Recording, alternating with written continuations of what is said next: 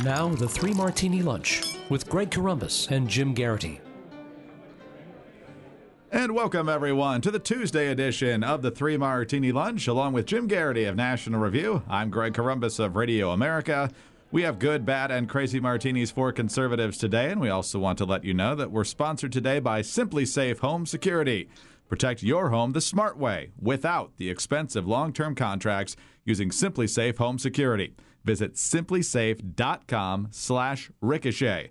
That's spelled S I M P L I S A F E dot com slash ricochet. And more on there. Great products a little bit later in our podcast. Jim, we start with the good martini, of course, and we begin with the first day of weekly business. I don't know how we define day one anymore. Apparently, there's a controversy about that, but we're not going to spend any time worrying about it.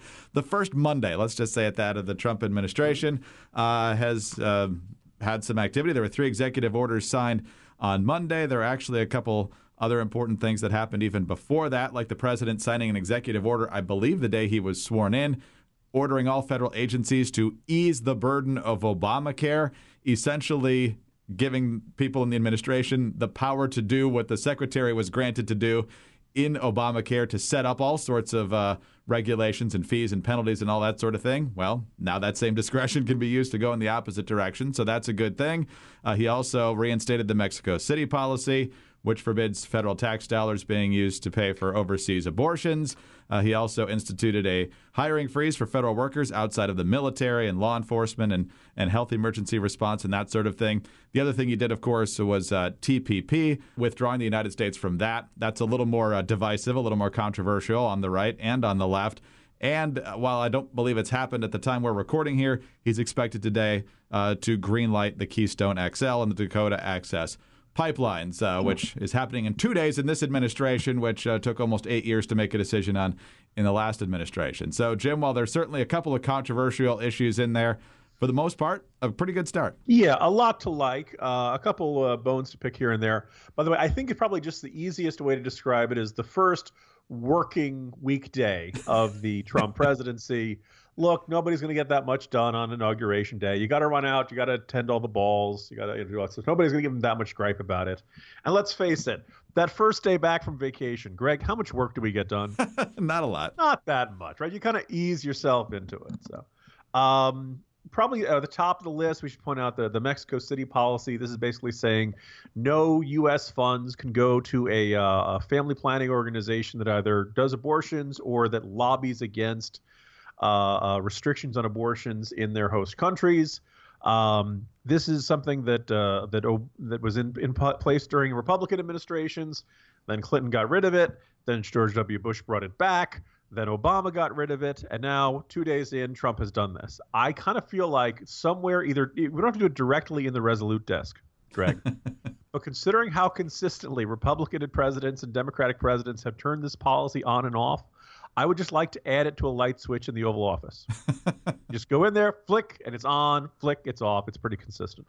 Um, the hiring freeze for federal workers. I saw Evan McMullin, uh, who has decided that his uh, short lived uh, independent conservative presidential bid will now turn him into a career of being a loud critic of Trump on everything, uh, was saying, look, the hiring freeze doesn't really deal with the deficit and the debt. It's not, you know, yeah, no, that, you're right. I don't know if Trump said the hiring freeze is going to single-handedly deal with the spending problem. Um, yes, it's about entitlements. If I'd, you know, I, I sure as heck would love to see the Trump administration take a tougher line on entitlements. But that doesn't mean any effort to restrict. You know, I, I don't want to boo any effort from the Trump administration to try to control spending. right? Give them encouragement when it's in the right direction. Now, I think it's important to note that the Trump uh, executive order gave them. It sounds to me like a pretty broad leeway uh, for for ignoring the hiring freeze if it relates to national security or public safety. I don't know about you, Greg. I don't want the CIA and the NSA having a lot of unfilled jobs right now. right. Uh, it does not apply to the military. Military recruitment can keep on going. Uh, and I also think it's important for public safety. You know, places like the National Institutes for Health. Hey, you know what? Keep working on the flu vaccine, guys. I because you know a bunch of folks I know caught the flu. This year's flu vaccine is terrible, and uh, go go back to the drawing board, guys. Don't I don't want to see a lot of empty empty offices there. Um, and yes, this is you know they're supposed to go on for 90 days while they review put together a more structured plan uh, for reducing waste and inefficiency and, and uh, uh, duplicative offices in the federal government. I think as long as this is kind of a short term way of sending a signal to the federal bureaucracy, the era of endlessly increasing budgets is, is, is over. I have no problem with it. The only problem comes when if you end up saying having all of your all the guys who fix the machines at, at one particular U.S. mint retire. And suddenly you don't have any guys and you don't have anybody to replace them. So uh, you know you you this is this correct. It's not a long-term solution but i do like it as sending a symbolic uh, message there.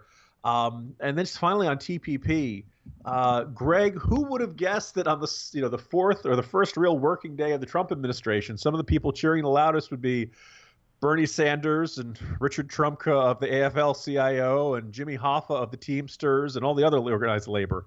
Uh, I realize this is an issue that divides the, uh, uh, the, the Republicans and Democrats. I realize this was an issue that Hillary Clinton said she opposed. You know, Barack Obama could not get support for this uh, this trade deal at all. Um, I think it indicates how much the the the battle lines and you know we talk about an era of endless partisanship, but here's an issue that really splits the parties.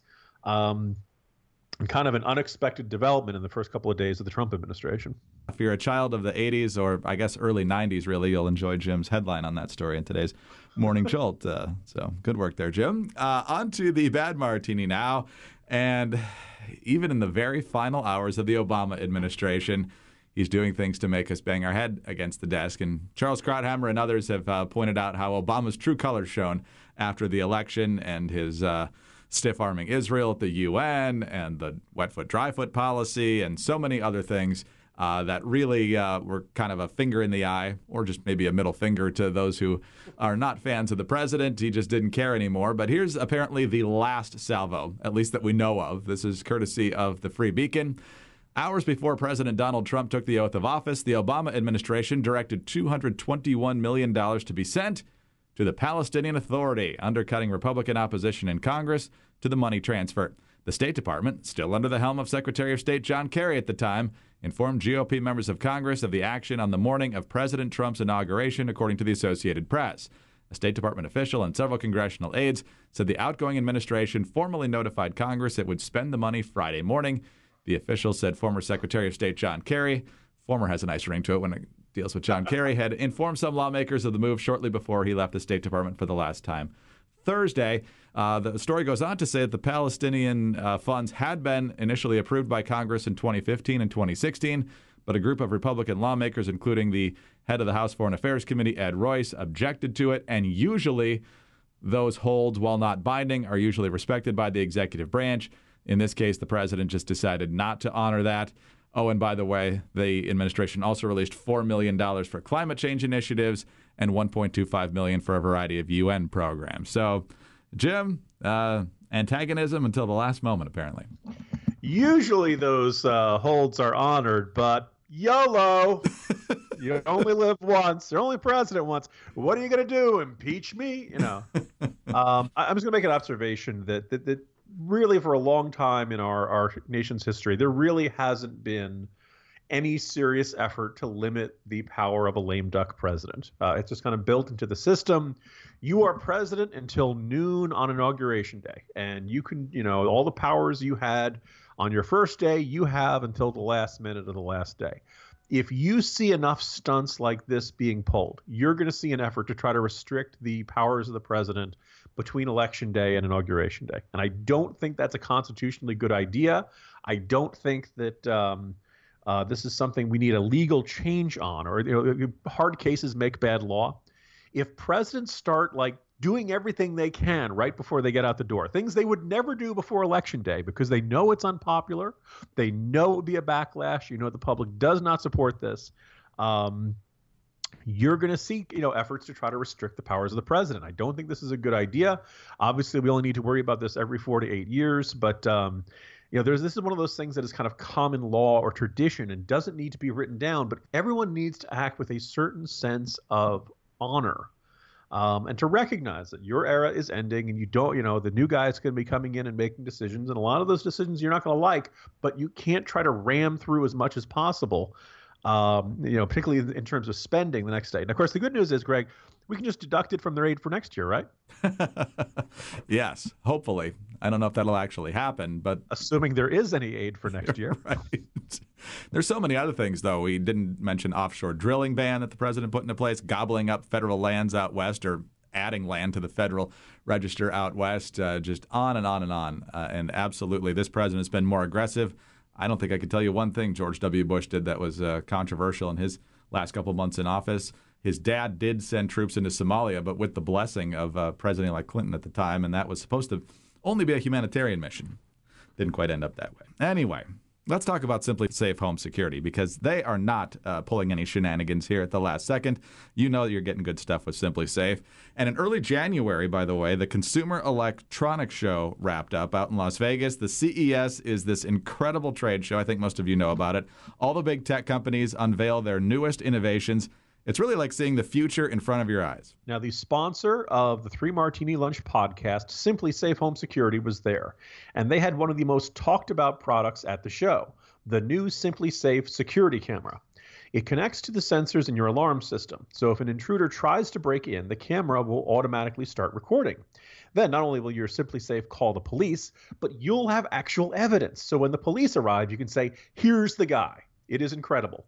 And if the police don't do anything about it, you can hire bounty hunters to go get them. No, you wouldn't necessarily have to do that. But think about how great it is not just to tell the police, I've been robbed, somebody tried to break into my house, but you have a photo of the guy making the police work that much easier. Yeah, yeah, definitely a huge tool to uh, cracking down on crime in your home and and, and any home that has this uh, incredible device, the SimpliSafe security camera. You can check in at home anytime, anywhere. You don't even have to be there. Just live stream HD footage directly to your smartphone.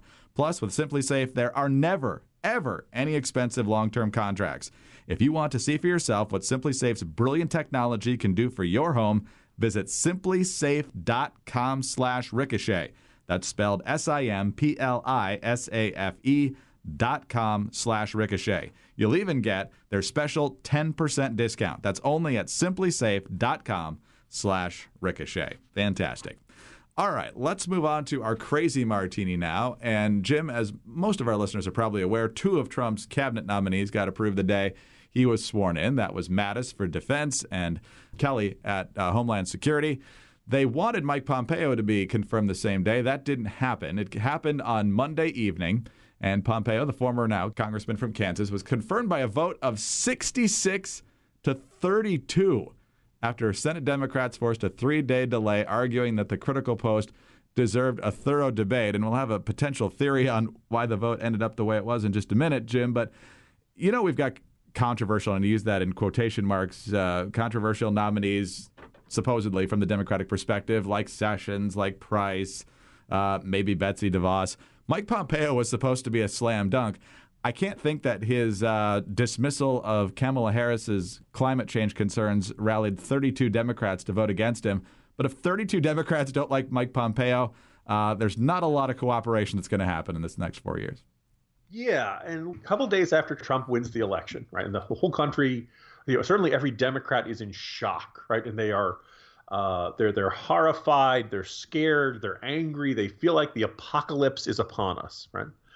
And I believe Pompeo was one of Trump's first uh, a major announced uh, cabinet nominees. And I was saying to people who were out on the ledge, look, it's not the end of the world, um, and that Mike Pompeo is a pretty, you know, um, respectable, straight arrow kind of guy. This guy is a grown up. Does this mean I'm going to agree with every decision he makes? Probably not.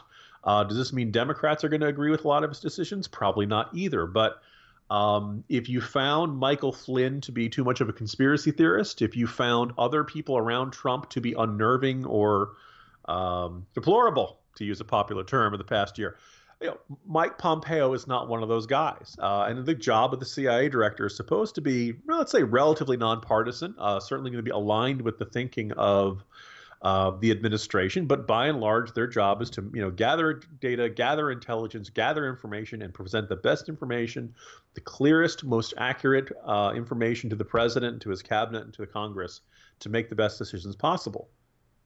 I, I was going to say there aren't a lot other than you know, other than maybe Mattis. Um, I, I'm not sure how many other picks would be any more reassuring than Pompeo. So if 32 Democrats are going to vote no on Pompeo, I think it's safe to say 32 are going to vote against every single one of Trump's nominees. and if that's the way the game's going to be played, fine. You know, someday there will be a Democratic nominee, and you can count on the major- the vast majority of Republicans in the Senate to vote against every single one of those nominees. Because I don't think Pompeo said anything in his uh, confirmation hearings or, or past statements or past history in the House that would make you think this guy is some sort of unhinged uh, uh, radical who's going to, you know, act out some sort of dystopian or Orwellian fantasy. Um, it's really unnerving that you know if you're if you're the Democrats, you probably want to find at least a couple of these nominees who you can live with and say, okay, out of all the Trump, if you believe that um, Rex Tillerson is terrible, then you concentrate your fire on Rex Tillerson and you say this is this is a bad pick. If you want to say uh, one of the the treasury you know, one of the other you, you can only focus your fire so much because when all of the picks are the worst possible pick ever then none of the picks are the worst possible pick ever um, pompeo looked like a slam dunk and clearly he got more you know plenty of votes but uh, it, it, to me it suggests that the democrats have not figured out how to focus they have not figured out how to uh, prioritize, and they just simply want to. They're they're still in the primal scream stage of opposition to Trump, and the country uh, deserves better. And I think at this moment it needs better. Um, there are serious objections to be made to, about Trump and the way he's doing things in his early administration. I don't think picking Mom, Mike Pompeo is, is is one of those strong objections. No, and even the Democrats uh, wouldn't dare delay the nomination of James Mattis. They uh, there was no fight over that because the last thing you want is him pleading with tears in his eyes. About... that would not turn out well for Democrats. So, what happened with Mike Pompeo? Well, according to Steve Hayes, uh, the brand new, congratulations to him, editor in chief of the Weekly Standard, uh, he has a pretty good minute to minute here. The Senate reconvened, he says, after the inaugural ceremonies on Friday, with Pompeo's nomination set to come up at 4:50 p.m. Tom Cotton of Arkansas angrily confronted Senate Democratic leader Chuck Schumer about his broken promise because Schumer had originally promised that the Pompeo vote would be on Inauguration Day. According to witnesses, Schumer told Cotton to lower his voice and asked him to move off the Senate floor to an adjacent hallway for a private discussion. We need to take this out into the hallway, Schumer said. Cotton walked with Schumer but loudly rejected his first request. Don't tell me to lower my voice, he shouted, with an additional salty admonition tacked on for emphasis. Sen- Senate Intelligence Committee Chairman Richard Burr and Texas Senator John Cornyn were present, as was Virginia Senator Mark Warner, ranking member of the Senate Intelligence Committee, and several aides. Schumer told Cotton that the Senate had never previously confirmed a CIA director on Inauguration Day, and if Cotton had been around eight years earlier, he'd know that Republicans didn't extend that courtesy for incoming President Barack Obama. Cotton's response, quote, eight years ago, I was getting my butt shot at in Afghanistan. So don't talk to me about where I was eight years ago. Cotton asked Schumer why he'd gone back on his word. Schumer claimed that he'd only been speaking for himself when he promised to let Pompeo through. The Republicans were stunned. I'm not telling Ron Wyden to do this, Schumer declared. Why don't you go talk to Wyden? That's not my job, Chuck, said Senator Burr. I know what you promised me, said Burr. You made the deal. Burr, not known for his aggressiveness, pointedly told Schumer that Republicans had learned something important about taking Schumer at his word. Quote, I won't make that mistake again. Jim, Tom Cotton, don't mess with him. this way, for perspective, uh, after this exchange, General Mattis said, Man, don't mess with that guy. we will see how this shakes out. Um, again, I, I don't see you know you have to pick your hills to, to die on and, and you kind of have to you know ask the question was Mike Pompeo really the biggest and most consequential fight that, that Ron Wyden and the other Senate Democrats wanted to have. Um, if, if their attitude, because this is the sort of thing that gets filibusters nuked, right? This is the sort of thing that gets, you know, the majority party to say, you guys are being unreasonable. There's no talking to you. There's no reasonableness there. Uh, there's no willingness to be conciliatory or work together. We're just going to steamroll you. And for the sake of the way our, our, our democracy operates, our constitutional republic operates, you'd like to see this kind of tension minimized. But this requires a little bit of give. And the idea that Wyden's going to be the guy who holds this up, particularly when Schumer said, don't worry, we're going to do this, unnerving. But uh, I was going to say, for people who want to see a fighting spirit in Senate Republicans, I think they got it. Yeah, if there's anything uh, that's good that congressional Republicans can pick up from Donald Trump, uh, it's not just playing nice and, and seeing lots of opportunities go by the wayside because of procedure or holds or whatever. I mean, the Democrats are still going to use whatever powers they can, being in the minority, uh, but it looks like there's uh, more of a fighting spirit uh, in the congressional GOP, and that could be a very good thing given what uh, is potentially able to be accomplished here in the first couple of years of this administration. Indeed. Jim, fun day. A lot of uh, a lot of fighting here. This is good. Talk to you tomorrow. see, you, see you tomorrow, Greg. Jim Geraghty of National Review. I'm Greg Corombos of Radio America. And don't forget to visit our friends at SimpliSafe Home Security and learn more about that amazing new SimpliSafe security camera. Head to simplisafe.com slash ricochet, S-I-M-P-L-I-S-A-F-E dot com slash ricochet.